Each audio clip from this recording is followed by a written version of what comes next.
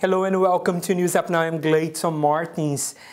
My guest is a soprano and a talented musician. I met her two years ago, more or less, in San Jose, where she had an amazing show, Hear Her Song. So now her new album just coming out called Duende.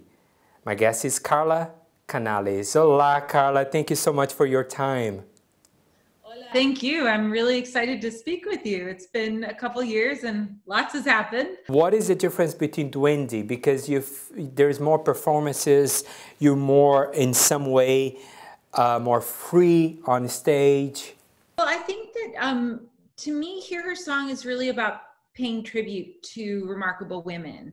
Um, when I conceived of that project, it was right around the time of the inauguration of the Trump administration and, of course, the Women's March that took place um, in response to that. And what I wanted to do was find a way to use my voice to respond to what was happening. And rather than you know, point a finger or go a negative route, which is of course fully justified um, because women have suffered for centuries. We know that.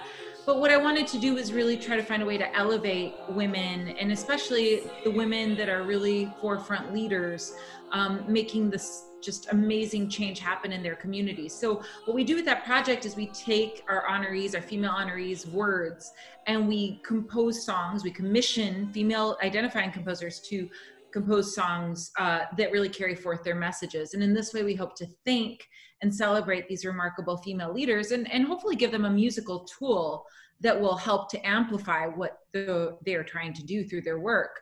Duende, of course, is quite different. Duende was very much an inner journey for me, um, rather than this sort of social movement. I, I tried to go inside and ask myself, what does Duende mean to me? This was kind of a mysterious word um, that I first learned about through a Carmen production, which Federico Garcia Lorca, the famous Spanish poet, introduced as the thing that we all feel, but no philosopher can explain. And it really has to do with a, a, a sensation of authenticity in our gut. Maybe in English we could say soul. And so for me, this was really about going very, very inward and exploring my own soul, my own fears, my own joys, um, my own relationship with death, let's say. And in that way, it really was a, a very introverted journey for the last couple years. So, how long did it take to produce Duende? I started working on this, um, well, really, I've started to explore the concept for about 10 years, believe it or not, a whole decade, I, which I can't believe I'm saying this. Um, I learned about the word in a Carmen production I was doing in Belgium, singing the title role with a wonderful Spanish director, Emilio Sagi, who would say to me, necesita más duende, which, you know, give him more duende. And, and I thought, well, I speak Spanish, but I don't know this word. Um, once I Googled, of course, and, and learned about it, it took me on a journey um, really discovering the work of Federico Garcia Lorca and so much Spanish flamenco tradition. But I really dove into the folk songs and the music um, for this album for the last two years, uh, since the summer of 2018. So, um, it, you know, we were very, very fortunate to give the first um, debut presentation in San Jose in uh, June of 19. And I learned a lot from that and decided I really wanted to expand it into a, a longer show um, and, and added music and added other elements to it, which now um, have sort of coalesced into this album, um, which is about a 50 minute journey um, of the emotional complexities of being a woman. So I am really, really excited to share it. I remember you walking uh, through the audience, you know, just like literally feeling the music, the sound. So, do, what do you feel uh, uh, when you are on the stage? Uh, of course, performing Duende. Well, I'll be real honest with you. That performance has stayed very much in my heart and in my mind um, because it was such a gift to be able to explore that with this amazing audience and the people of San Jose. Um, I'll never forget how open you were to my coming into your space um, in so many ways. Uh, someone who's coming from the outside of the community, but also coming in through the audience. Um, and I think that that really is the leap of faith that we artists try to take with our audiences is to develop a sort of bond in a short period of time and go on this journey. Um, I, I hope to expand that and i've not had the chance yet because of of course covid and and so many of the limitations but um what i took away from that performance was really the power of going through an emotional journey together. Um, and I think it's very relevant right now in a time where, unfortunately, so much of the world and, of course, of our own country is is somewhat divided. And I've, we could talk about that for a long time, but I'm not really interested in talking about that. I'm much more interested in talking about what do we have in common. And to me, our commonalities really lie the most strongly aligned in our sharing of this human experience and what it means to be human and feeling these emotions. So, what I think that the arts allow us is a space to explore that. And when I was, you know, walking in the aisles, I could I could feel and I could look into people's eyes and and really connect in a way that left a very strong impression for me. And you know, I I can't speak to the audience, but I know that it it had a great impact on me and how I tried to create and curate the rest of the project. Well, I want now. I also want to take this opportunity to apologize to you because um, we taped the show Duende, and we are in the process of building our server, and we lost the footage, which is a tragedy for me. And I was, I, I know it was really hard for you too, but believe me, it was really hard for me um, because first of all, I, I really uh, I admire your work and I loved who you are. It was really bad for me to, to lose that footage. Uh, and I'm just, I'm sorry again. So kind to say that, but um, I want you to know it, it, touches my heart that you feel how you feel. Um, and I truly feel that this all happened exactly as it should have happened because I was able to rely on my sensation memories rather than on a technology or an external tool and really kind of recreate it based on how I felt. And that was what guided me through. And so, please, the last thing I want you to feel is, is badly about it. I so appreciate your support of my work and of the arts in general and the gift of getting to speak with you today. And I think in many ways, what we've come to now is thanks to that. Absolutely. Thank you so much. Thank you for saying that. Um, so I know with COVID, a lot of performers are not performing. Um, how you're dealing with that? How you you know make music? How you performing? Are you doing virtual concerts? Ultimately, all of us want at the top of the list to preserve the health and the safety of our fellow humans. That's you know paramount and as exactly as it should be.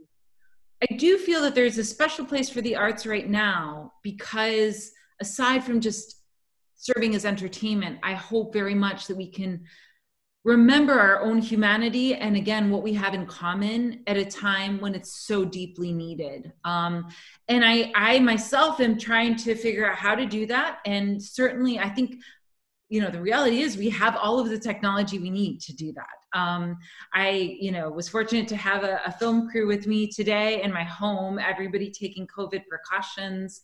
Um, i hope to do more virtual performances. In fact am in the process of working on the virtual concept of duende which even in in the case of an album i can now share my music with as many people as are willing to listen as opposed to just those who can fit into a concert hall. So in a way it's um, catapulting us as artists to incorporate the technology which i don't think all of us had been doing particularly in, in opera and in classical art forms. And to start to incorporate it and utilize it in all of the benefits it allows us. So i'm actually quite excited about that it has been hard not only for, for artists, but for everybody else, as you mentioned. Um, I want to go back on Duende again because it's still vivid in my memory from that concert last, I believe it was last year, uh, in San Jose, um, which Carrie Adams brought you to, the, to South Bay. Um, I'm not going to remember, and I apologize in advance, the name of one of the, I think he was the musical producer. Christopher Botta. Okay, that that guy he just blew my my mind with his uh, uh, uh, technology, and you're playing, uh, performing as, at the same time, was just like just so so beautiful, and I I just like I have to say that too. Uh, the connection between you two was amazing. He's like uh, kind of a musical brother to me. I mean, there's a magic I think that happens when two people or more can truly dive into a world of imagination free of any kind of associations and go on that journey together. And that was the greatest gift that Chris gave to me. I had no experience in that realm of singing or electronic music. And he just said, Hey, it's okay. And let's do this together. And um, I, I have to say, you know, this kind of speaks to the power again of the arts because it's it's so fundamental as human beings that we use our imagination. When we're kids, we're used to that. You know, we play games and we imagine one person doing one thing and the other. Um, we sing songs and we live in a sphere where imagination is much more part of our daily life. I think, again, it's so important now that we remind ourselves of that because we need to imagine a better future.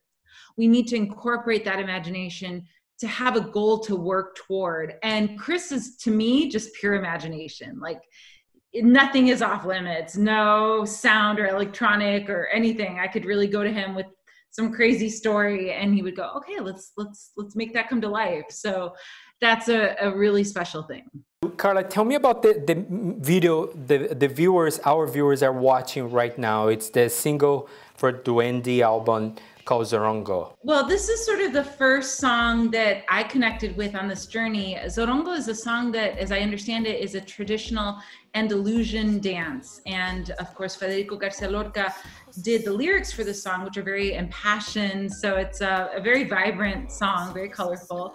Um, and it's still normally performed uh, to this day in flamenco tradition.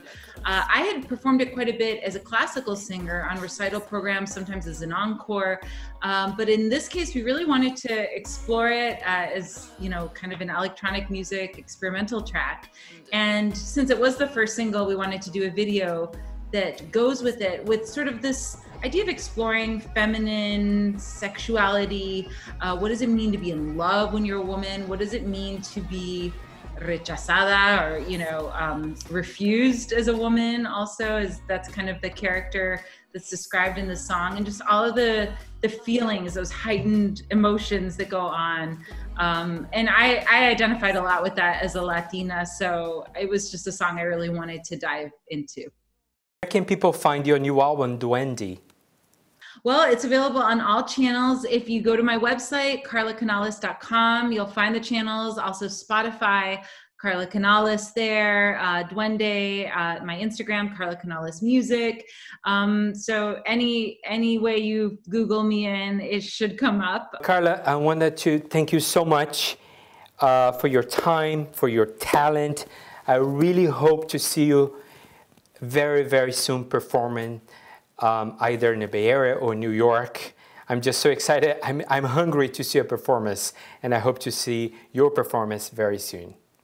Thank you. That means so much to me. Thank you so, so much. And what you're doing for me and for the artistic community, it keeps us alive right now in this very, very tough time. So um, I will share that love with my colleagues, and I hope that You'll enjoy the music online and the video that we've prepared. And I definitely hope to see you really soon for performance out there. And thank you so much for watching. If you have any questions uh, for us, our email is tips at newsupnow.org, tips at newsupnow.org. Uh, all the links for Carla Canales, it's right here at the bottom of your screen. Um, I hope to see you next time over there at your home. Be safe and be kind. Thank you. Bye bye.